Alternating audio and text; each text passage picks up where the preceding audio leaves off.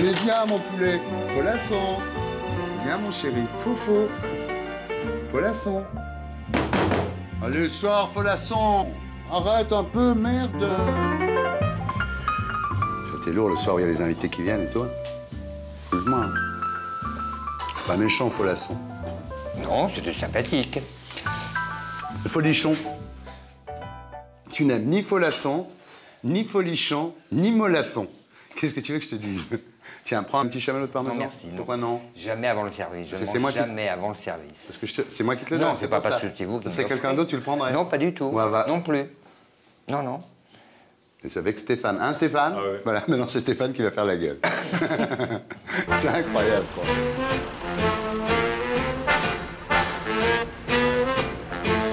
Fais un sourire. Ah, voilà.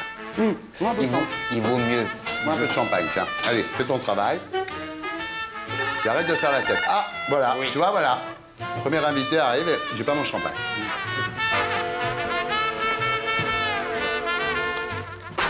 Oui, bonsoir. Oui, bonsoir, c'est Frédéric Ploquin. Au quatrième étage, s'il vous plaît. À tout de suite. À tout de suite.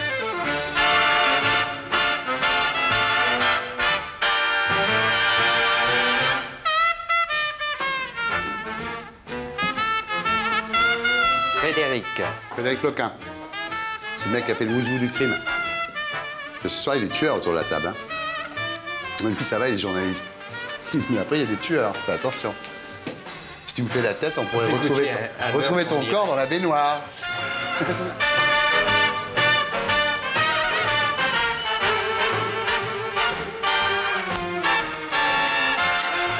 Monsieur, bonsoir. Donnez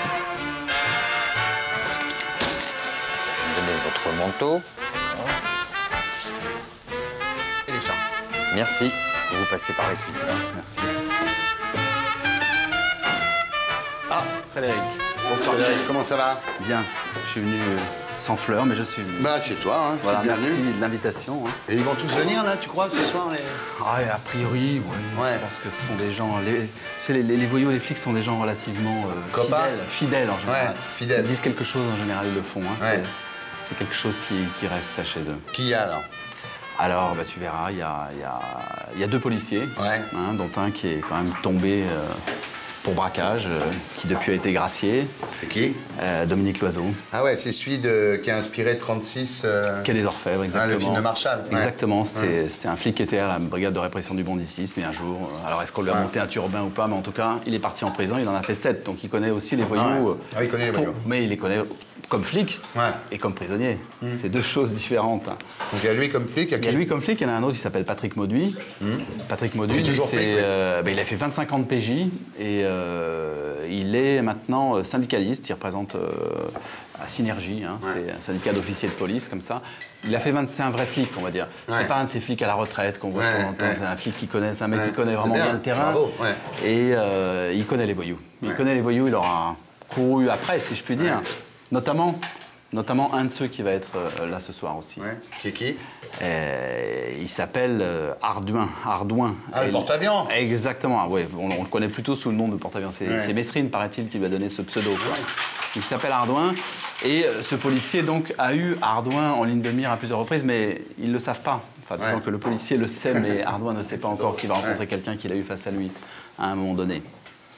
Et puis, euh, et puis, puis tu auras, il y a deux femmes aussi qui, qui vont venir, hein, euh, qui connaissent les voyous pour d'autres raisons. L'une, c'est Marie-Christine Guérini, parce qu'elle est, Elle est, elle est héritière de elle la... est ouais. la fille du fameux Ouais. Guérini. Ouais. Et l'autre, Laurence Ségura, parce que ça fait 10-15 ans qu'elle est mariée avec un braqueur, roi de la belle, roi de l'évasion. Euh, Il vient vos jours, il vient bien. hein. et évidemment, il y a vos jours, évidemment. Et elle, elle est mariée avec Ségura. Elle ouais. est mariée avec Ségura qui, qui a, qui a- qui a- qui a des soucis sans, sans cesse avec la, la Ouais. police, la justice pour des évasions, des braquages Bien, que lui nie d'ailleurs. Tu vois quoi? Donc ça fait du monde, bah, la, la même chose que toi. dire. Le barman vous prépare un cocktail. Ah ouais, c'est quoi ton cocktail, Romain, alors Donc euh, c'est un cocktail qui s'appelle Marion, à base de vodka, d'amaretto, qui est de la liqueur d'amande, de jus de citron et de purée de mangue. D'accord. Un peu assez exotique. Ouais. Et, euh, bon, Ça s'appelle Marion Voilà, en hommage à Marion Cotillard pour ses 30 ans. Ah. D'accord. Ça, tu travailles que là-dessus, quoi.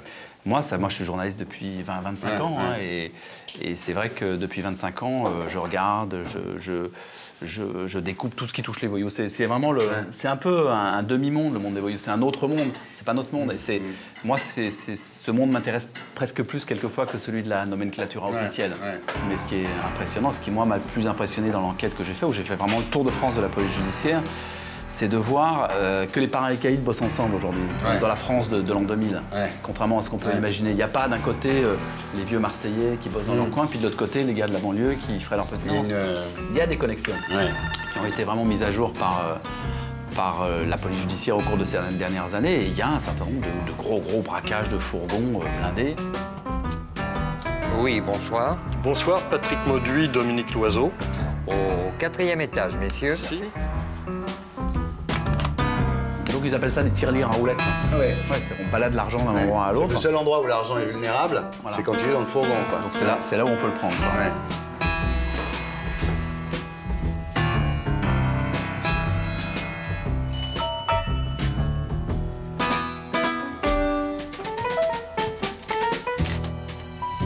Messieurs, bonsoir. Entrez.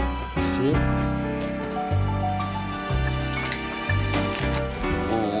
Voulez me confier votre blouson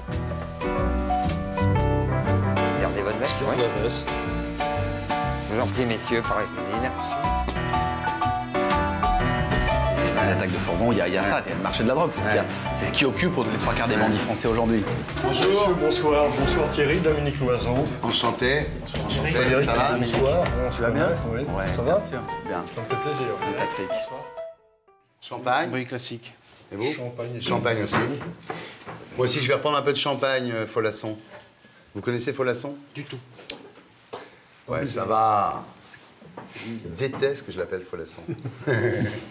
Lui, lui c'est le, le baron noir, hein, puisqu'on est au niveau des alias. Ouais. Lui, euh, alias, c'est. Eh, comme moi, tu Ouais, bonne gueule. Ouais, c'est un bon look. Scipion, Scipion l'Africain. Et lui, c'est Scipion l'Africain. Tu vois, c'est- Ouais. dans, dans la police, c'est un peu comme dans, dans le milieu, il y a des, il y a des pseudos. Ouais. tu vois. Tout le monde, tout le monde a un surnom. Et pourquoi Scipion l'Africain? Parce que je suis né en Afrique et j'ai vécu 18 ans là-bas avant de revenir en France. Donc tout naturellement, en arrivant à la police judiciaire, donc euh, ça a été Scipion. Scipion l'Africain, puis Scipion. C'était l'époque où les gens avaient des lettres, parce qu'il faut encore savoir qui c'est Scipion l'Africain. Il faut avoir fait latin à l'école. Mais il y a de plus en plus de lettres dans la police. Ah ouais? Ah oui. ouais, il y a de plus en plus. Effectivement, euh, Frédéric, euh, bah, journaliste d'investigation, a été le premier à écrire euh, un article sur cette, sur cette affaire. Quoi. Mais les gens qui, moi, m'ont mis le doute à l'oreille quand, il, quand il était. Donc, il s'est retrouvé en prison, donc. euh, ce sont ses parents chez qui je me suis retrouvé à déjeuner, puis à dîner, puis je suis retourné une fois, deux fois, trois fois. Et ce sont eux, plus un certain nombre de, de ses anciens collègues, qui ont fini par me convaincre du fait qu'il y avait, il y avait un sacré doute sur la culpabilité de Dominique C'est Loiseau. terrible ce que vous êtes arrivé. Bon, en fait, comme le résume euh, euh, bah, très bien un confrère de Frédéric, un ancien policier également, Eric Young, qui est sur Ouais, je le euh, connais, France Inter, vous le connaissez Ouais, bien, Eric bien, Young, lui dit que j'ai été sacrifié sur l'autel de l'oligarchie policière. Ouais. Bon, à l'époque, c'était un autre contexte que la police de maintenant, mais si effectivement euh, l'affront du 36 qui est des Orfèvres Ouais, contre la hiérarchie, qui, était, qui était une première à l'époque, hein, le 36 c'est mythique, hein, c'est Maigret, la préfecture de police euh, implosait. hein. Il faut savoir que le préfet de police a Il s'était passé une opération pas claire et pour couvrir l'opération, ils ont. Bah, L'opération pas claire, c'est la- une fusillade contre le gang des postiches. C'est ce qui a mis un terme justement à leur activité. Et là, il y a un chef de service qui enfreint les consignes qu'il avait lui-même données de ne pas intervenir. Et lui, bon, bah, il fait l'inverse. Et puis bah, là, il y a mort d'homme quand même. Il y a un collègue qui est tué. Il y a, Il y a des, deux morts, collègues blessés grièvement. la, hiérarchie a, la hiérarchie a couvert ce type en fait. Oui, parce qu'il fait partie de la caste des commissaires de police. Ouais. Donc ce sont des gens qui sont, qui sont intouchables. Ouais. C'est-à-dire qu'il y a une liste noire qui est sortie à ce moment-là, me mettant en cause dans des affaires de policiers qui étaient en prison depuis des mois déjà, qui eux étaient de véritables voyous, qui étaient euh, flics la nuit et voyous le jour, puisqu'ils travaillaient à la BRB nuit. J'avais travaillé avec eux. Et euh, bah, moi, j'ai voulu avoir des explications. Je me suis présenté à l'IGS, la police des polices, Ouais. pour justement savoir. Vous ouvert votre gueule, quoi, Voilà. ouais. Voilà, et puis bah, je suis ressorti euh, plus de 5 ans plus tard, presque 4 ans en détention préventive. Puis après, je suis ressorti pendant Ouais. deux ans où là, j'étais payé par l'administration à rien faire. Et puis je suis retourné au procès d'assises pensant être acquitté.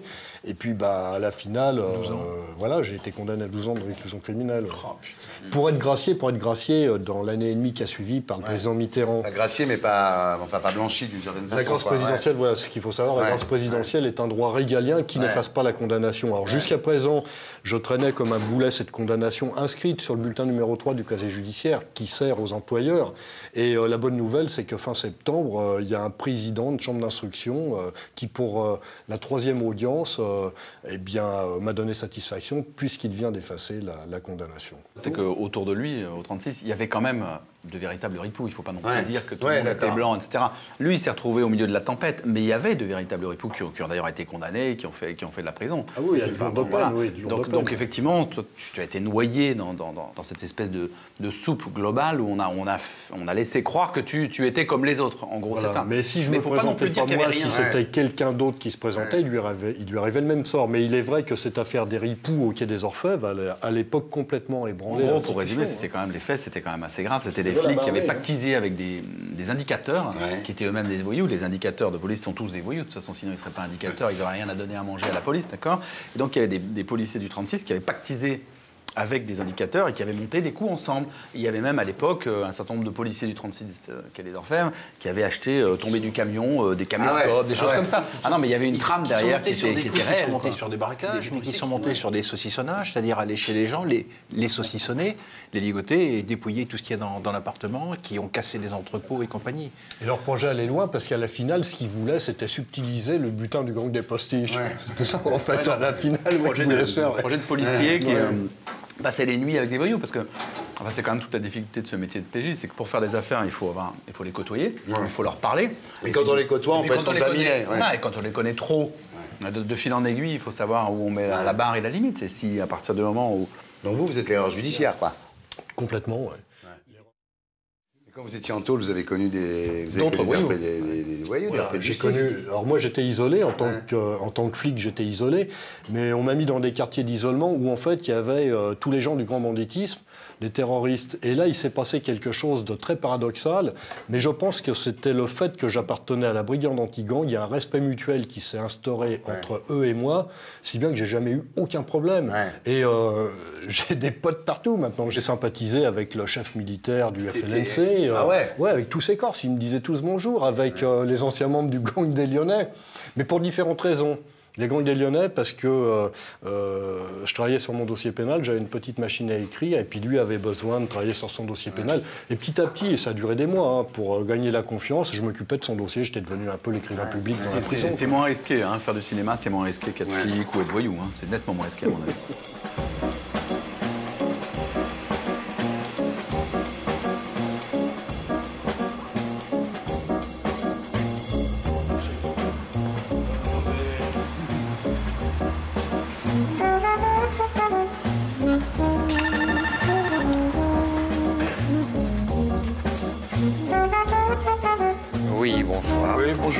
Vaujour et Michel Ardouin. Au quatrième, messieurs. Merci. Merci.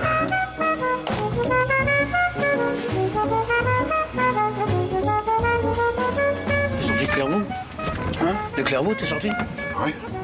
Non, je suis passé à la 2, moi, tu m'as pas vu, mais je suis passé à la 2, je voulais faire de l'informatique avec euh, Ralaoui. Voilà, je sais pas qui c'est. Je suis euh, au deuxième bloc, là, le le bloc en face, je suis passé.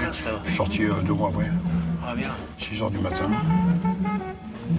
J'étais un peu, j'étais tricard en plus, j'avais 50 trics, je, suis allé, je me suis fait chier à Évreux, à Pointé. euh, Ah ouais? Je suis rentré à Paris tous les soirs avec Je à Paris tous les soirs avec une escorte, mais j'étais Et là, et là, la trique? Ah, c'est fini depuis... Euh, ça fait 4 ans que c'est fini. Mais moi, j'avais aussi, mais elle a disparu quoi. Mais ils s'en foutent maintenant, ça dépend de la justice, ça dépend plus de l'intérieur. Messieurs, bonsoir. Bonsoir. Donnez-moi votre manteau. Sucré comme décor. Nickel.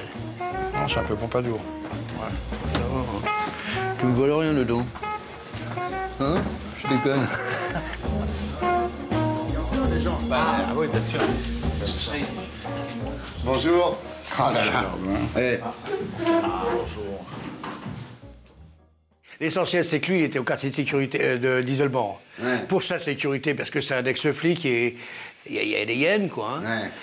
Et, et moi, j'étais au quartier de sécurité pour des raisons de sécurité, quoi. Et il y a le mec qui est venu me voir, qui m'a tchatché, style. euh, Non, moi j'ai dit, quand le directeur est venu me voir, il m'a dit on a un problème. euh, je crois qu'il y a un mec qui, qui va se canner, quoi, qui va se pendre. Il était dépressif, donc il était obligé de ça l'affaire. Hein. Ah ouais. Et, il m'a dit ça vous dérange pas de l'avoir avec vous en promenade Bon, moi, je m'en fous qu'il soit poulet ou pas, j'ai rien contre les poulets, bon, qu'ils se mettent pas devant moi, et là, il n'y avait pas de problème quand même. Ils se mettaient pas devant moi. Donc la demande conjointe que je chante avec lui pour qu'il retrouve l'usage de la parole et que lui me remonte le moral. Alors, Mais moi, il profitait de l'occasion justement de sortir avec moi en promenade pour s'arracher à nouveau. Moi, Voilà. oui, bien sûr. Qui préparait une évasion. Qu'est-ce qu'il y a ouais. comme mieux Ça rassurait le directeur. parce que Donc le directeur, non, c'est drôle. Le directeur te dit occupez-vous soucie. de l'oiseau, il est dépressif. Et toi, tu dis d'accord, et en même temps, tu en profites Et pour. en euh, même temps, ça donne une garantie au directeur parce que moralement, il- vis-à-vis d'un mec, un ex-poulet de la BRI, euh, moi je vais. Donc avec Dominique, mais évidemment, c'était un mec qui se prenait pour un flic, il y avait un problème. Quoi. Ouais. Mais non, j'ai rencontré juste un Mais mec. quand tu l'as vu la première fois, il était comment? Il était mal, Ah, il l'oiseau? était down, il était down, Ouais. le pauvre, il était down. Vous vous êtes connus où alors vous, Non, nous, on était à, la- à Clairvaux ensemble. Une ancienne centrale militaire qui était très dure, parce qu'il y a Très, des les mecs qui la gèrent, c'est les frères Suchet. En 1936, ils tuaient les mecs à coups de clé dans la tête dans les mitards. Ah ouais, et quand on y était, c'était encore Noiret, marié avec une fille Suchet. C'est les Suchets qui drivent. J'ai craché Et quand il y a une évasion, c'est le directeur qui est puni et pas le chef de la sécurité, parce que c'est un Suchet. Ah ouais. L'administration pénitentiaire, c'est très spécial. L'État fabrique des malfrats. Pour l'instant, c'est les cités. Nous, ça a été nous. Bon, moi, je suis un fils de famille qui est mal tourné à 15 ans. J'ai fait un bras d'honneur à ma famille, je me suis cassé. Bon, mais c'est autre chose. Mais Ton père était industriel, non Oui. Ouais. Moi, je m'appelle Michel Ardouin, petit Jeff de Pomeroy. Si je veux dommage, je l'ai pas volé, ma chevalière. Arrête. Ah Mon ouais. père est enterré avec la même et ma mère aussi. J'ai Ah ouais, fait j'ai un- j'ai fait 14 sur le lycée euh, le religieux, euh, foutu à la porte en. Ah ouais. J'étais au Racing Club de France, j'ai au Racing Club de Paris, tu sais, un truc le plus simple Ouais. à l'époque, il n'y avait pas encore tous les feux. J'étais viré parce que j'étais en train de tirer une amie de ma mère dans les buissons à 15 ans. Je me suis amusé avec tous ces gens-là. J'ai le grand d'arrêt facile déjà. Il est trop fort. Et, alors, et alors donc, ouais. ils nous ont fabriqué, vous êtes un Ouais. représentant de l'État. Attends, c'est pas un épicier tranquille buvette, c'est pas un kabyle qui, qui gère une machine à sous, c'est un flic avec un calibre, avec un homme de terrain. Mais nous ne, nous ne sommes pas formatés. Oui, mais quand tu mets les menottes à un mec, tu sais que tu l'envoies au placard pendant 10 ans, 15 ans, 20 ans. Oui, Tu te branles pas, t'as fait ton boulot. on fait notre job. Eh ben, subissez quand il le faut. J'ai travaillé deux fois sur euh, Ardouin. En gros, en 1990, tu habitais à l'époque boulevard Suchet. Ah, tu étais avec Fabiani alors? Non. Parce Mais, que euh, boulevard Suchet, Fabiani m'a raté grave. Oui, mais nous. Tu aussi. connais Donjon Fabiani? Moi, Oui, absolument. Donjon. Dans le 16e, il a voulu manger avec moi au Mozart chez mon pote euh, Gauthier qui vend le pinard. Et hein. donc, euh, à l'époque, donc, on avait un tuyau, il était dans la cam, donc on a commencé à. T'arrives à le suivre quand j'étais en à- moto? à- à planquer sur lui. Ouais, il est difficilement filochable. Ouais. Alors ça, je veux dire qu'il est très chiant, il roule très vite. Très chiant. Très chiant, roule très vite. Mais enfin, quoi qu'il en soit, on travaille dans le temps. Ouais. Euh, S'il y a un chemin qu'il emprunte, bon, on se fait larguer une- à un endroit, et ben ensuite. J'attends on- le lendemain au même endroit, mais j'ai pris Voilà. autre chemin. Et, puis, Ah ouais. et ainsi de suite. Donc, euh, nous, Donc, sommes, vous finissez par l'avoir. nous quoi. sommes payés au mois. Et, et donc, pas de chance. Payé au mois. oui, mais c'est pas. Non, mais il a raison. Oui, mais force. C'est intelligent. hein. Ah oui. Et tu te fais serrer sur l'autre Trocadéro, parce qu'avec des faux papiers. Non, non, non, non, j'ai Oui, pas, des faux- enfin. j'ai pas des faux papiers. Et une arme. Non. Non, mais tu te fais serrer par la bague sur le Trocadéro. Attends. et là, et nous, Non, non, mais j'ai pas d'armes, j'ai pas de faux papiers. et nous, et, et- et nous, on. Conduis, tu te trompes, Ouais, t'as on contre la lève. plaque. Ouais. On lève. Ouais. On lève. Et ensuite, je me, on, on est, on- le, le groupe, on a retravaillé sur lui à ce moment-là. Non, mais je vais lui faire la synthèse, parce que je Hein trompe, là. C'est les cow-boys et les indiens quand même. hein. Tu te trompes. Attends, excuse-moi. Donjon Fabiani, Donjon Tu te fais Fabiani. serrer sur le Trocadéro. Alors, je t'explique pourquoi je me fais serrer. Mais automatiquement, on lève. Moi, à l'époque, la cam, je délègue. Je peux te dire maintenant, parce que c'est il y a 30 ans, il y a presque. C'est Gibus qui vont pour moi, et c'est Bernard Rodvos qui est mort en Espagne, qui vont pour moi. Chapeau de la coque. Bon, je chapeaute- Non, pas la coque, l'euro, moi. L'euro, ça fait Allez, l'oseille. oui. Puis attends, je m'en bats les couilles de tuer les, les politiques ou les mecs du showbiz, je comprends, hein, je m'en fous. Hein. Attends, c'est pas mon truc. J'ai failli mourir, moi. J'ai pris de l'héros pendant trois ans, je me suis arrêté au dernier moment, j'ai failli crever. Je vois. vous ai pas mis un fusil de chasse le dos pour vous empoigner. Ah non, j'étais ravi d'en acheter, je payais. Ça, je te mets à l'aise, j'allais chez le dealer seul. Alors attends, moi j'ai toujours vendu. J'ai toujours vendu. Peut-être que je t'ai eh, fait gagner du blé finalement. Non, mais là où mon éducation religieuse a suivi mes affaires, c'est que j'ai toujours vendu coupé. J'ai pas une overdose dans mes affaires. Je faisais 8 kilos par mois à l'époque. Et l'histoire est exacte. Je suis sous mes vrais papiers. Je suis en cavale pour l'hélicoptère. J'ai volé un hélicoptère pour évader un ami. On va manger chez le chinois à côté. Et quand je ressors, les condés me tapent au faf. Je suis sous mes vrais papiers. Je viens de toucher les bastos pour la- le service de, de protection de Mitterrand. Celle qui traverse un mec, mais qui, traverse- qui- qui touche un mec, mais qui ne traverse pas derrière. Et l'autre con, il les a chez lui depuis je sais pas combien de temps, et elles sont dans la boîte aux lettres. Je vais me chercher mes bastos. Oui, bah j'y vais, machin. Quand tu reviens, boum, les condés serrés. Et le mec, dit, vous avez des feuilles de paye, de, monsieur? J'ai dit, non, mais toi, tu as gagné une lettre de félicitation du ministre. J'ai dit, coup sur le cul. Enfin bref. Je ne suis pas armé, pas je ne suis pas armé. Ouais, et vous et avez tu sais qui je retrouve Ouais. Je me retrouve à la 8e BT chez mon pote le Savoyard. C'est lui qui me lève dans l'infirmerie.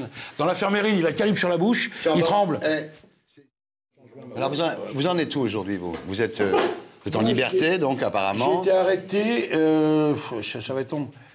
Euh, entente, coup de téléphone sur le sol français avec entente en vue d'association de malfaiteurs, proxénétisme aggravé, proxénétisme international. Ouais. Ça vaut 10 ans. Ouais. Je suis en, en provisoire sur une affaire, j'ai deux, trois jugements, parce que moi, quand je suis sorti, j'ai fait du légal. Mmh. J'avais huit camions qui vendaient du cristal de je sais pas où, et des casseroles de je sais pas où, des batteries Zepter, des machins à 15 000 balles. Les gens étaient contents, ils payaient en six chèques. Alors là, je passe parce que mes vendeurs, ils ont promis un stylo au mec qui a acheté une casserole, qui n'ont pas donné le stylo, je passe dans trois jours. Ça,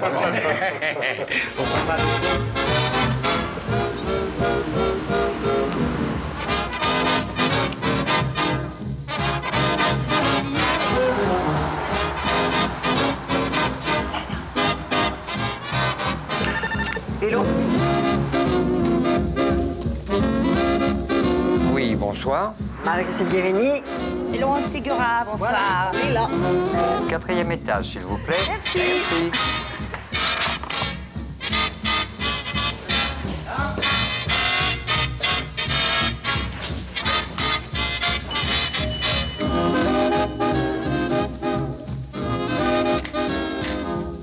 Mesdames, bonsoir. Bonsoir.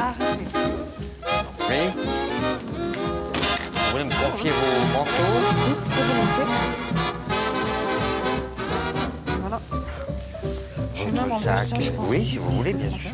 D'accord. Nous passons par la cuisine. Allons-y. Qu'est-ce qui a motivé cette haine comme ça de la société, de l'ordre république J'ai le mépris. Mais c'est tes trucs, Claude. Bonsoir. Bonsoir.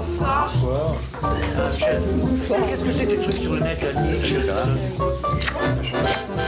Bon, bah, on passe à table, hein, parce qu'on va être trop là. Présente-moi présente les filles, Fred. Ah, Laurence. euh, Laurence, Laurence Ségura. Ah, bizarre, Donc, euh, bonsoir. plus. Donc, euh, bah, elle, hein, tu, tu raconteras, mais tu, tu vis donc depuis quoi, 10, 15 ans? Euh, Tu peux parler plus fort? 20 ans. 20 ans, 20 ans. 20 ans. Donc 20 ans avec euh, quelqu'un qui a été accusé de main braquage, qui en conteste un certain nombre d'ailleurs. Donc tu, tu sais ce que c'est, quoi, le grand banditisme, mais Ouais, euh, de manière intime, on va dire. Ouais. Voilà. Et euh, bah, Marie-Christine aussi connaît de manière assez intime finalement ce milieu, puisqu'elle est donc la fille ancien, enfin bon. du fameux Mémé Guérini, hein, qui a été donc euh, un, un grand parrain, euh, Barthélemy. corso marseillais, on va dire. C'est un peu plus mythique. Oui, non, mais très Pas mythique. roulant hein. encore, mais. Donc on va dire le- Très mythique, très mythique. Moi, j'étais à l'hôpital de Fresnes Ah oui. quand, quand il y était. Mais, mais, Et- ah oui, et, et c'est un truc qui m'a marqué. C'était ma deuxième tentative d'évasion Ouais. et je m'étais cassé la jambe. Et donc je me suis retrouvé à l'hôpital de Fresnes et, et je me souviens. Et je me souviens, euh, j'ai vu un homme, vraiment un mec. Quoi. Euh, ce qui m'a marqué, euh, c'est un mec qui s'est approché de lui, ça devait être un Corse, et la façon dont il l'a embrassé. Oui. Il lui a fait la bise. Il n'y avait pas besoin de commentaires. Ouais. On savait qui était qui, quoi. Ouais. Les Guérini, en fait, leur force, c'est d'avoir choisi la, la résistance. euh, Bah, c'est le premier palier en fait. hein. C'est la guerre, c'est la résistance. Ils ont choisi la résistance lieu de choisir la collaboration. Et après, quoi. bon, euh, Par rapport à, collaboration, à Carbone et Spirito, qui eux, Carbone et Ils, Spirito. ils ont eu la qualité de. Bon, quand- un Corse arrive sur le continent, il dit Je suis rentré avec ma bite et mon couteau. Ouais, ouais, Et souvent, la mère cousait l'argent dans la poche pour qu'on ne vole pas sur le bateau. ouais. Oui, tout à fait. Ils sont arrivés, non mais. Tout à fait. Ils sont arrivés, ils ont réussi à se brancher avec les syndicats et faire une forme de résistance. ouais. Donc ils ont pris leur place. Donc, ce qui veut dire qu'à la Libération, ils se sont retrouvés un peu les, les bandits officiels de la République. Je veux dire, euh, ils ont quand même beaucoup, beaucoup été estimés de par leur fait de guerre et leur, et leur fait politique. Ouais. Bon, après, euh, ça a dégénéré, je pense, parce que c'était des gens qui rendaient beaucoup de services. Ah, les Guérini, ça consistait en quoi leur business alors Après la guerre, mettons, une fois qu'il y a eu la Libération? Bon, c'était beaucoup les trafics de, bon, trafic J'avais de 3-4 bordels. femmes. 3-4 bordels. Tra- trafic de femmes. Mais les, les bordels étaient interdits après la guerre. Non, c'était Ah des oui, bars à golf joint voilà. autorisés pour les Américains. Ah ouais, d'accord. Mais, On était euh, marins à l'époque, nous. Euh, quand les Ricains arrivaient, les Français n'avaient plus le droit de rentrer parce qu'on avait 15 francs par mois, ils avaient euh, 100 000 dollars à Ouais. dépenser. Donc il y a eu ça, il y a eu quoi? Il y a eu les Mais il y a eu filles Blément aussi, euh, donc le commissaire de la Blément. DST, qui a, qui, a, qui a quand même véhiculé les Guérini vers, vers quelque chose de. Oui, de Renucci aussi. Parce qu'ils ont refusé la cam, ils ont accepté la cam au démarrage. Renucci, qui était au Maroc, était vraiment un seigneur de la guerre. Et il a branché les Américains sur les Guérini, qui avaient des acquaintances encore avec tous les Corses qui avaient vécu à faire le trafic de pièces en Indochine, pour amener Des la cam. lingots aussi, des lingots aussi. Voilà. Il y a des femmes qui Et ramenaient des Guérini- valises de lingots. euh, Et les Guérini ont trop hésité. La cam, c'est bien, la cam, c'est pas bien. Oui, la cam, peut-être. Pas sur la Ouais, France, cam. hein, pas sur la France, hein, ça dérange. Et Ouais. pendant ce temps-là, je veux, je veux citer. pas l'hexagone. Je ça citer les. Paenacci, qui étaient mes amis. Moi, j'ai travaillé pour eux en Amérique latine, à Latino Connection. C'est pas méchant ce que je dis, parce que j'avais beaucoup d'estime pour eux. Pendant que les Guérini fêtaient leur sixième bordel, les Paenacci fêtaient leur première banque. Quand la French Connection s'est cassée la gueule, on a fait la Latino Connection, dont j'ai fait partie. Enfin, en porteur, hein. enfin, pas, j'ai jamais porté. Enfin, j'étais l'exécuteur, moi. Il fallait rechercher les gens qui étaient partis avec l'oseille. Mais euh, l'erreur des Guérini, c'est de ne pas avoir poussé dans le banditisme et rester des, des sortes. C'était des sortes de notables après. Après la guerre, ouais. On peut pas être- on ne peut pas être moitié voyou. Il faut faire fort et renouveler sans arrêt, faire très fort. Voilà. Ou alors s'arrêter.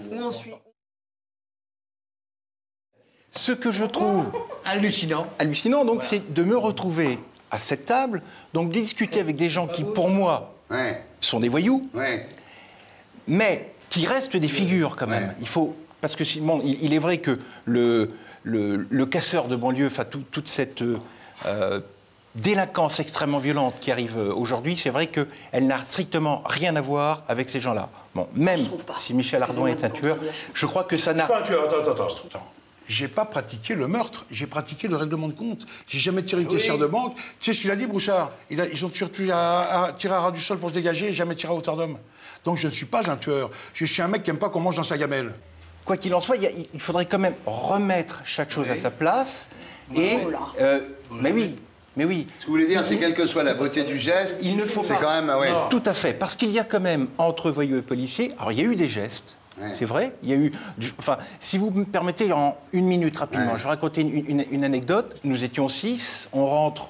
Il est mort maintenant chez Charlot, qui tenait les Lumières de Belleville, dans le 20e arrondissement, qui était une cantine de la PJ. Et au fond de la salle, il y avait quatre types, 35 ans. Bon, ils nous ont reniflé tout de suite, et nous, tout de suite, on s'est dit, c'est pas bon. Et il y a eu un geste. Charlot est arrivé, nous sommes installés à la table à côté. Il y a une bouteille de champagne qui est arrivée, c'est de la part de mes amis, donc les quatre qui étaient là. On a levé la coupe à, à leur santé. Nous avons mangé, ils avaient commencé avant nous, ils sont sortis, nous sommes salués en sortant. Et après, nous avons appris que l'un d'entre eux donc, était évadé, il était recherché pour homicide, etc. Mais il y avait un champ clos, il y avait un sanctuaire, nous étions chez Charlot, et donc il n'était hors de question de franchir ce C'est-à-dire qu'il y a des no man's land, Il y a- finalement les, voyous no et les flics se retrouvent sans... Moi, je vais te rencontrer là. T'es sympathique. L'oiseau est sympathique. Bon, ton, ton histoire, ça, c'est le fair play des années 50. Ça, euh, je vais te dire un Non, c'est truc. pas les années 50. C'est une histoire récente là qui raconte. Ce n'était pas Non, les années non, 50. non, non. Ça, ça remonte, c'était encore, c'était encore 85-90. Un beau jour, il y avait les putes à Paris. Alors moi, je parle de choses que j'ai vues.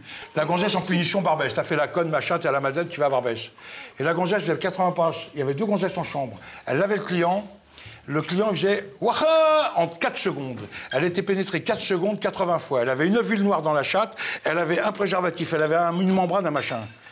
Et quand la cliente disait ta punition, elle est levée, tu retournes à la Madeleine, elle te disait non, non, je reste à Barbès, je suis bien. Pourquoi? Parce qu'à la Madeleine, le mec, il bave, il a bu, c'est un homme du monde. Alors l'homme du monde, attends, l'arabe, il va au sauna avant d'aller tirer son coup. Son slip, il est propre. Le notaire parisien, son slip, il a une trace de pneu. Il n'y a pas plus sale que les Français. Moi, je me lève le cul comme les Arabes depuis l'âge de 15 ans. Ce que tu veux dire, c'est que que filles- la fille préférait Barbès 80 passes, c'était 80 fois 3 secondes. Alors qu'à la Madeleine, le mec, mais ma chérie, je t'aime, donne-moi la bouche. La Ouais. pute, elle donne pas la bouche, elle donne pas cœur. parce que- Ouais, mais ma chérie, machin, machin. Et le mec, pour 30 sacs, pendant une heure sur son ventre, elle en peut plus. elle- Enfin bon. Donc ça, déjà, c'est la différence d'abattage. Deuxièmement, les putes étaient un mal nécessaire.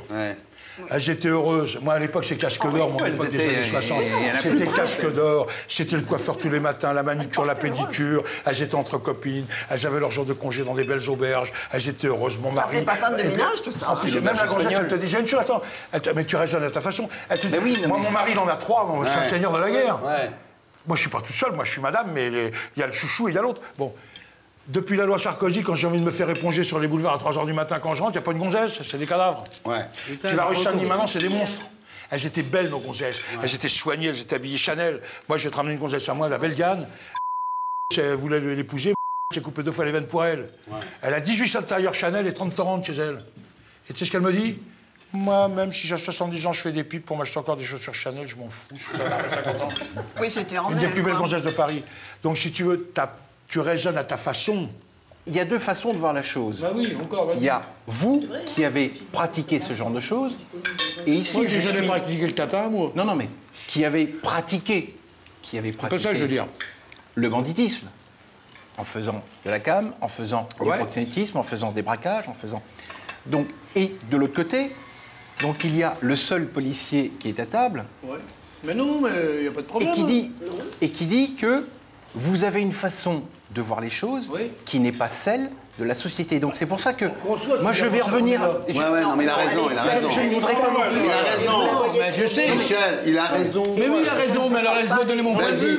Michel, Michel, Laisse- non, attends, laisse-moi donner. Tu vois, ça m'appelle Michel. D'ailleurs, quand tu Simplement commences bien, tu fais des progrès. Simplement une chose, simplement une chose, simplement une chose, simplement une chose. Même si le mot, même si le mot n'est pas beau, il n'y a pas de- une héroïsation à faire de ce non, que on fait vous pas avez l'héroïsation, fait. on n'a rien à cirer de la C'est héroïsation. la bonne question. C'est la bonne question. Mais la table entre nous permet de parler d'homme à homme, si ça t'arrive dans la vie. Tu vois Ok Ça lui arrive, t'en mets. Non, tu t'enfermes pas dans ton machin. Je te parle. Toi, tu vis selon des règles. Ah non, Nous, on vit selon d'autres règles.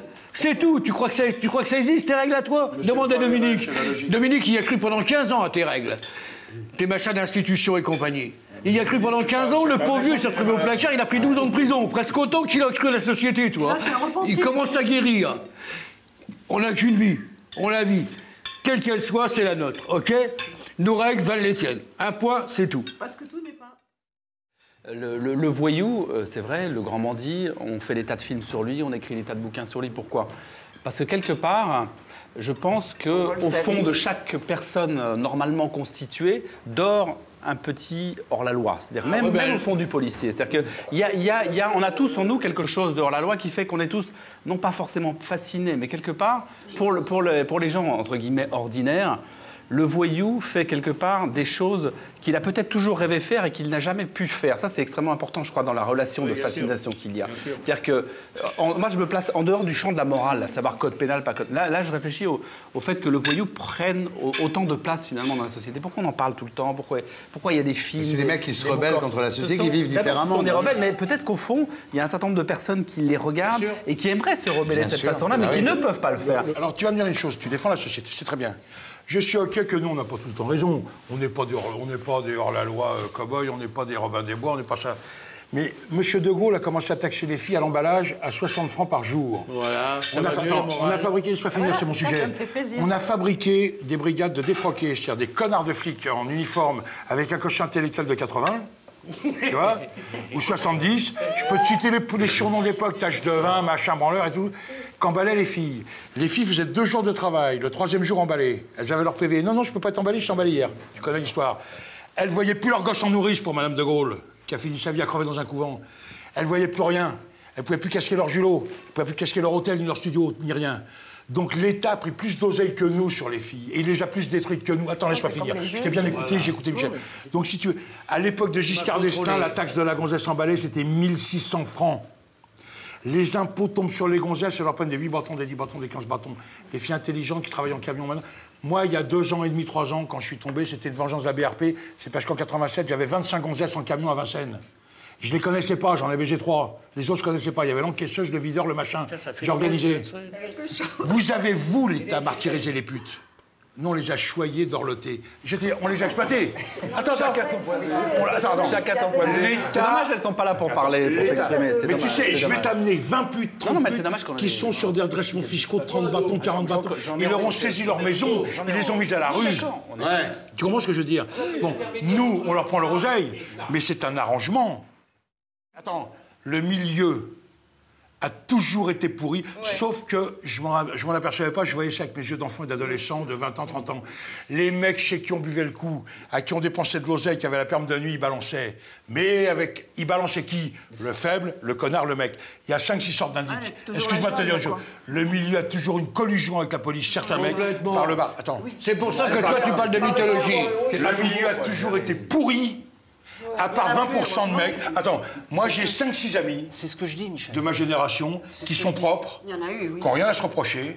Non. Il y a eu quelques faits qui ont Mais été c'est très rare. glorifiés. Qui ont été glorifiés. Je suis d'accord avec toi. C'est pour ça que la police Mais tu veux dire, entretient cette mythologie. les- ce, que, ce que tu dis, c'est que la- toute la parole, la mentalité, ça, c'est des conneries. C'est mettre le code d'honneur, ça, c'est des conneries. Le milieu, premièrement, c'est un milieu de pute, de concierge jalouse. Attends, excuse-moi. Les jalousies, tu sais ce que c'était? Le... Attends, à un moment, les stupes, ils te disaient on n'a plus besoin d'indic. On a des coups de téléphone par les concurrents. Allô, euh, Georges Machin, il va livrer 200 grammes de coque au carrefour de la rue d'Italie, machin, ce que tu veux, à telle heure. L'autre, il dit, tu veux quelque chose en échange, ta gueule, boum. Parce que c'était pour reprendre le marché. Le milieu a toujours été pourri. Donc ça n'existe pas, le code d'honneur des voyous. bah, c'est mon cul, ça. Ça, c'est c'est de la mythologie, ces conneries-là. Par contre, ce que je veux dire, j'ai pas pu dire tout à l'heure. Ce qui est assez rigolo là tout à dans dîner, c'est qu'en ce qui est fait, intéressant, le seul qui c'est défend que la mythologie des voyous, c'est le flic, quoi. Non, oui, oui, oui, bah, parce que ça l'arrange. que, et là vous abondez dans mon sens, que nous ne sommes pas dans le merveilleux monde de Disney qu'a monté une certaine presse. Bien sûr. En amplifiant ou en glorifiant certains gestes, certaines anecdotes. J'en ai connu quelques-unes également. J'en ai raconté une. Je pourrais en citer une autre. Mais hormis ceci, c'est un monde de violence, c'est un monde de trahison. Et notre rôle de policier, c'est de vivre avec ça, c'est de recueillir le bon renseignement. La première fois, Sans je ça, me vous suis pourriez planté sur toi, hein. et la deuxième fois, j'ai Sans pas ça, réussi vous à pourriez faire. pas travailler, vous n'avez pas de boule de cristal. mais, Laurence- sans indique, sans téléphone et sans la connerie des gens qui se, bal- qui se balancent au téléphone. C'est évident. Je veux dire, vous pourriez pas travailler. La ça, c'est deuxième- clair. Pour en revenir dans le fond de la discussion, parce qu'en fait, c'est vrai que quand tout le monde s'est emballé, on arrivait au cœur du sujet. Ouais, ouais, c'est pour ça. Il y a les flics d'un côté et les voyous de l'autre. Oui. Ok. Donc, c'est- Donc c'est à moi maintenant. Mais les voyous Ah, tu différencient. sais comme j'aime t'entendre parler comme ça Mais depuis le début J'ai envie de te prendre dans mes bras, là. Non, Elle exagère pas quand même. Pourquoi pas Michel, Michel. Retiens-toi. Je crois que je vais faire un pax. Moi, je vais dire pourquoi tu m'as jamais arrêté, maintenant je t'attends. Ouais, vas-y. Moi, j'ai fait 16 ans de placard dans ma vie, dans la réclusion. En quatre fois. Putain. Moi, premièrement, j'ai fait qu'un tiers de ma vie au placard. Deuxièmement, il n'y a pas un mec qui peut dire que les deux autres tiers, j'ai emprunté 10 sacs à quelqu'un-. J'ai toujours été riche. J'ai toujours vécu comme un grand bourgeois. Parce qu'en plus, avec mes origines, je gâche pas mon oseille. Mon mari, moi, c'est pas un voyou. Il n'a rien à voir avec. euh, c'est pas un gangster. Il est tombé dans un engrenage fait. euh, c'est un préfabriqué. Euh, D'une erreur judiciaire, il est, il est- il est rentré en prison. Il n'a pas trouvé d'autre porte de sortie que de s'évader avec son frère aîné. Et euh, disons que c'est la so- Moi, moi j'accuserais la société d'avoir fabriqué mon mari, de l'avoir forcé à, à- à être voyou. Moi, j'ai fait 10 ans de cavale, monsieur. Je connais pas une femme, on en parlait avec Marie-Christine, hein, je connais pas une femme qui a fait 10 ans de cavale. Je trouve ce que je veux, quand je veux, à l'heure que je veux. Et ça fait 18 mois qu'on file mon mari en cavale. Qu'est-ce qu'est-ce que veut la, la société française Qui rebraque Vous connaissez l'histoire, c'est son Qui mari. rebraque son mari. Qui l'histoire. quoi Au moment où il était réinséré, Complètement. travaillait pour cette boîte d'informatique à Bordeaux et après à Nîmes, etc. À ce moment-là, les mecs en Belgique ont retrouvé un truc. Non, il y a une nouvelle loi qui a été faite. La- loi Perben 2 a fait une loi rétroactive. Et c'est la, deuxième fois que la société française fait une loi rétroactive. La première, c'était La Pétain. première fois, c'était pour les juifs. Ouais. Pour leur enlever la no- nationalité française, ma fille a fait un devoir à son lycée, et pour pouvoir leur piquer tous leurs biens et les envoyer à la chambre à gaz. Voilà, c'est tout. La loi rétroactive, qui est, qui est du 10 mars, euh, ça, ça a été fait le, le 10 mars 2004, et ça a été rétroactif, c'est-à-dire que vous avez une amende maintenant, vous avez des amendes, vous avez fait des délits maintenant. Ça vrai. part jusqu'en 1993. Oh, faut arrêter là. que je veux dire. Là, il faut arrêter. C'est le seul pays européen qui fait une loi rétroactive aussi loin. Laurence, ton, ton mari, ton mari est toujours en Il cavale. voulait un jugement. Mon mari est toujours en cavale depuis 18 18 mois, monsieur. Son patron se bat, il a monté un comité de soutien. Il a demandé à être reçu par M. monsieur Perben et maintenant par monsieur, euh, je sais plus comment il s'appelle, le nouveau. Pascal Clément. Le nouveau. euh, Oui. Voilà, le nouveau. Ils, do- ils ont le dossier sur le. Seulement, ils savent pas quoi en faire du dossier. Et c'est ça, c'est ça que vous représentez, vous? Je ne connais pas votre dossier. La seule chose, Allez voir, il est sur le bureau de, de- de différents ministres qui la passent. seule chose dont je suis Voilà. Certain, voilà. la seule chose dont je suis certain, c'est que le, le judiciaire actuellement est extrêmement lourd Oui. et je plains quiconque Ils ont des sous à dépenser, hein. je vous le dis, moi. d'y tomber. Ce qui m'a fait douter de la justice, c'est en 1999, il y a eu une affaire où cinq collègues qui étaient au service départemental de police judiciaire 93, et donc j'ai ouvert les yeux et je me suis dit, on peut n'avoir rien fait, et on peut être pris dans le maelstrom. Maintenant, il faut savoir et pouvoir en sortir de ce maelstrom. Son mari, je l'ai connu. Ne pleure Je- pas, Michel. Non, je pleure pas, mais je mais sais, je beau, sais la beau, douleur qu'il y a derrière. C'est de l'amour. Son mari, je connais. Il est en quartier d'isolement, etc. Je sais qui c'est, Ouais. entre guillemets, qui c'est. Je veux dire, la situation dont tu parles, là, j'en parlais il y a quelques jours avec ma femme. Moi, je m'en suis sorti de- du bordel. Là, j'essaye de reconstruire ma vie, moi. C'est pas le pied, hein. je me taffe. Grave. Ça serait plus simple pour moi de monter quoi que ce soit, quoi. Pas de problème, hein. Crois-moi. J'ai appris comment on faisait, il n'y a pas de problème, j'ai eu le temps. Enfin bon. Euh, mais, mais. mais ce mec, franchement, comme tu fais, c'est bien. Comme il fait, c'est bien. Et il a tous les droits, ok? C'est clair, c'est net. Putain, il a qu'une vie. Ils vont lui casser les couilles, il doit trajectoire, à bout de paplard, qui vont lui changer sa vie. Le mec, il a tout fait pour retrouver une normale. Et maintenant, il faut qu'il se batte encore Tu sais, quand je me suis enchaînée au gré du palais de justice de Bordeaux, je voyais passer les gens et je reconnaissais systématiquement les mecs ou les femmes qui étaient passés en prison. Ils sont stigmatisés, les gens. Il est stigmatisé. Et alors là, c'est. Maintenant, tout ce que vous avez à l'encontre de la justice, à l'encontre des règles, je ne suis pas législateur. Voilà. J'applique la loi. Non mais Ah oui, c'est un flic. Ah, il est pas- j'applique la loi. Il n'est pas l'administration pénitentiaire. J'applique la loi. Il y a des lois qui sont bonnes. Sauf que pour un et il y flic, a des lois sympa, qui sont mauvaises. Ah non, Seulement, en tant que policier, je ne suis pas là Et quoi, je. pour dire aux législateurs, vous faites des conneries ou quoi que ce soit. Je suis là pour appliquer la loi. Et je reconnais que parfois, la loi est mauvaise. Lorsqu'elle m'empêche de travailler ou lorsqu'il y a des dérives. Maintenant, il est certain que vis-à-vis d'un univers qui est la jungle, le fait de mettre des gens qui sont déjà hors la loi et leur recréer une jungle à l'intérieur d'un univers totalement fermé, complètement mais je suis d'accord avec le fait que la justice en France et ce qui se passe en prison n'est pas bon. Ah, bien. Nous savons que la prison n'est pas rédemptrice et que de toute façon, Non, elle ne loin peut de pas. là. Non, c'est pas ça. D'où ce qu'on reproche. Elle- Attends, elle- elle ne- elle ne- elle ne peut pas- elle ne peut pas réinsérer. Comme moi, mette au Mais- placard dans les conditions les plus dures, je m'en bats les couilles. Moi, tu me détruiras pas. Maintenant qu'on mette des pauvres mecs Voilà, des qui n'ont rien à voir et qui sont en train de se détruire à mon contact, Ou même des ou mecs parce que moi, attends, je vais pas leur faire de cadeaux à l'intérieur, le mec, faut qu'il marche droit. Attends, je t'explique. Que moi, on cherche à me détruire, je suis un danger pour la société, c'est sûr. Même encore aujourd'hui sur le plan financier. Ah, chouette Attends, tu vois Je m'en bats les- Qu'on cherche à me détruire, je suis d'accord. Quels que soient les moyens, je m'en fous. Attends, moi, tu peux mettre. Tu sais ce que disaient mes associés américains? Moi, j'étais avec la famille Catino à New York. Mettez-moi dans une matchbox, ma famille manque de rien, je vous emmerde. Et 20 ans. même si la famille Comment mange. Le raisonnement. Et moi, j'ai le même raisonnement. Mets-moi dans une matchbox pendant 30 ans, ma femme, mon fils, personne ne manquera de rien. Mes associés sont là, mes amis sont là, mes avocats sont là. Ce que je ne comprends pas, c'est vous sacrifier 50, 60, 80% de gens qu'on met en prison ou qu'on arrête, alors que si tu disais au mec, on te met 30 mois avec sursis et tu recommences plus jamais, il ne bougerait plus jamais. Il y a des établissements. Ce mec parlait, nous les. J'écoute-moi bien. Là, je parle de réinsertion, excusez-moi. Je parle humain, là. Je pas, j'en pas. essayer, hein. Et j'écoute-moi bien. Le maton que tu méprises parce que tu te prends pour un malfrat, pour un voyou, pour un gangster, pour ce que tu veux, il baisse sa femme tous les jours, il entre tous les soirs entre les cuisses de sa femme, il a la télécouleur. Ouais. Et toi, t'es une merde à manger du pain industrie et t'as plus dedans. Est-ce que tu peux comprendre que tu seras une merde dans la société toute ta vie si tu continues à jouer le jeu du voyou Ça veut dire que j'ai eu un rôle d'éducateur Ouais. musclé, d'éducateur musclé. Et je dis une chose, c'est que beaucoup de gens que j'ai connus dans les prisons, s'il y avait un éducateur... À Clairvaux, les éducateurs étaient interdits, il n'y avait pas. À Saint-Maur, ils faisaient le courrier. Ouais. C'est ça le problème de l'administration pénitentiaire. C'est là où j'en veux. Parce que moi, qu'on me détruise ma vie, je les encule.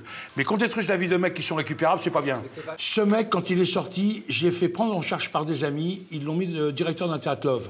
Ouais. Tu sais, où les mecs qui baisaient dans les filets et tout Ouais, ça. les deux il est tombé amoureux de la comptable. Il s'est marié avec elle. Il lui a fait un enfant. Quand je suis sorti, c'était fini les théâtres Love. Ouais. Il faisait des déménagements. Il a curé les égouts. Ouais. Il, a, il a déménagé des pianos, il fait 34 kilos. Il n'est plus jamais retombé. Ouais. Je lui ai dit, tu seras une merde dans la société si tu continues. T'es une merde. Le matin, il baisse sa femme tous les jours. Le matin, il est à la télé, quoi. Il n'y a pas de télé à la prison. Tu crois? Mais j'ai dit, t'es une merde. T'es pas un gangster. T'es pas fait pour ça. Ils auraient dû te mettre toi comme rééducateur. là. Mais attends, je vais pas citer tout le monde.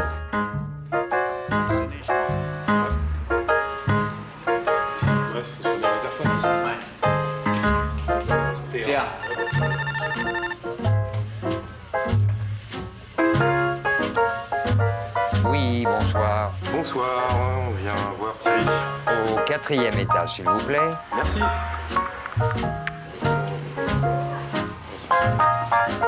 L'ascenseur, il est juste là.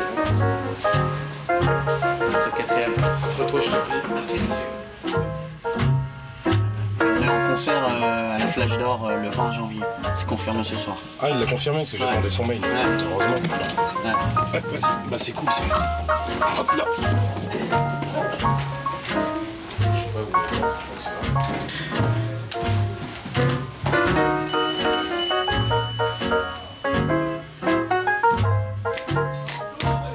Messieurs, bonsoir.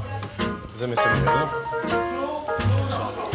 Vous voulez me confier votre manteau? Oui, avec plaisir.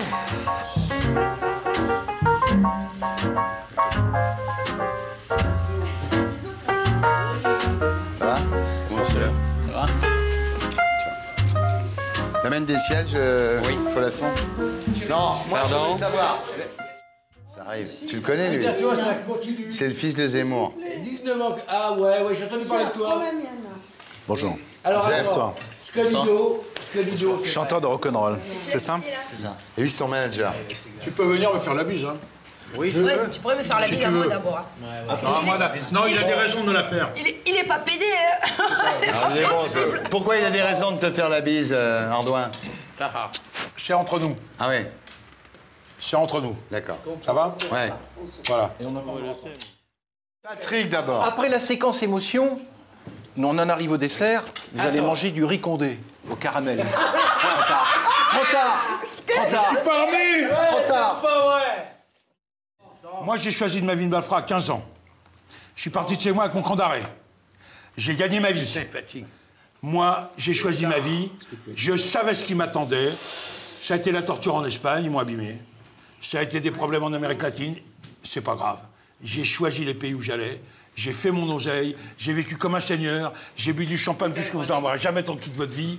J'ai eu. Je roulais en Jaguar E et en Austin à 3000 à l'âge de 20 ans. Moi, j'accepte. J'accepte la police, j'accepte la pénitentiaire. Je suis dans un régime qui est comme ça.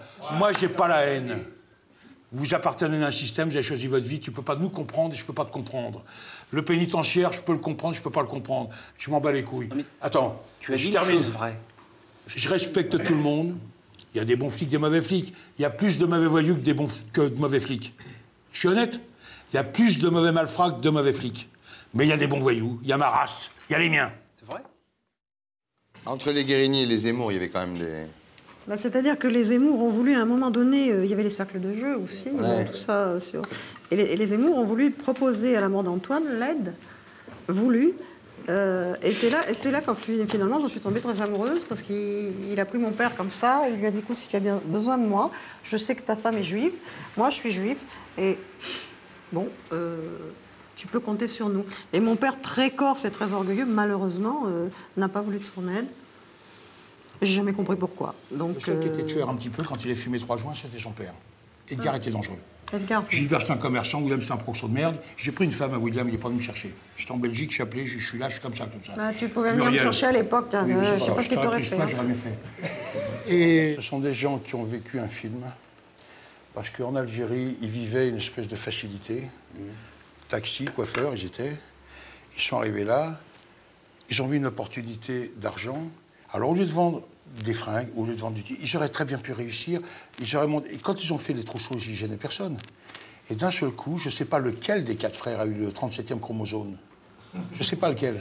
Non, non, sérieux. Il n'était pas fait pour être voyou. trouves ça pas un peu euh, immature de manquer ma famille de, de respect comme ça Je ne te connais pas, tu ne me connais pas, donc j'ai aucune raison de, de te manquer de respect, ni toi, ni ta famille, même si je le connaissais, même si j'avais des expériences avec eux, on est assis à la même table.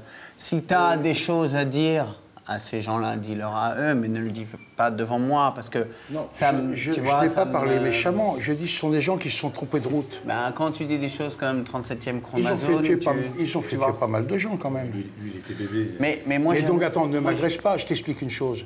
Moi je dis en tant que délinquant professionnel, ce sont des gens qui se sont trompés de route. Mais est-ce que eu- tu peux t'arrêter deux secondes pour penser que peut-être que j'ai pas envie de les entendre? Ah mais j'en parle plus alors à ce moment-là. Putain, ça c'est bien, plaisir. On n'en parle plus. On n'en parle plus. Parlons d'autre chose. Parlons d'autre chose. Il fait de la musique. Mama, take these guns from me. I can't shoot them anymore. This long black cloud is coming down, you see.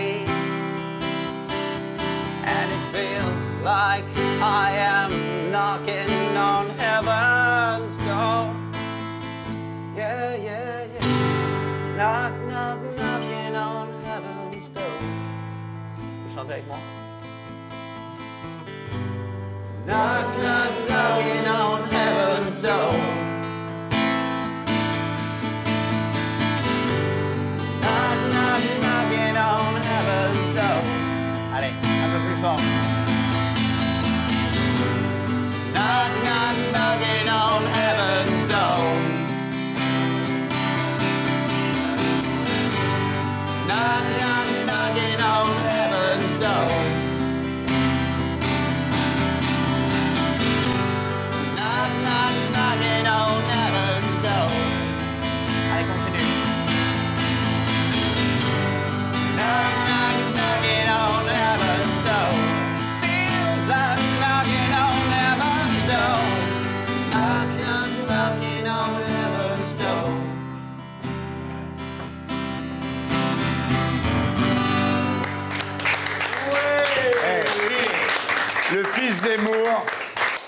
Donne la réponse à toutes les interrogations de ce soir. Complètement. Tu as su vraiment t'évader de, de- des choses qui auraient pu t'emprisonner.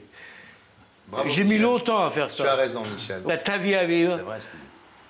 Seulement la vie. Ce qui nous sépare, toi et moi, c'est la vie. Toi, tu es enfermé dans les institutions, tu représentes la police, comme tu l'as répété 100 fois. Moi, je suis qu'un être humain, je suis un mec, j'ai qu'une vie à vivre, je la vis, ok?